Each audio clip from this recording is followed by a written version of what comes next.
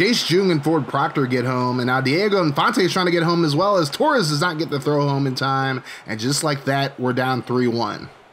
Luckily for us, we have Juan Soto back. And he's going to blast this one into right field. And that is going to bounce on the top of the wall and over for a solo home run for Soto. But guess who's up next? Juan Soto. It's a 3 2 count for Soto. And he's going to blast this one into deep left field. That is going to bounce over the wall for a walk-off ground rule double, and we finish the sweep of the Tigers in wild fashion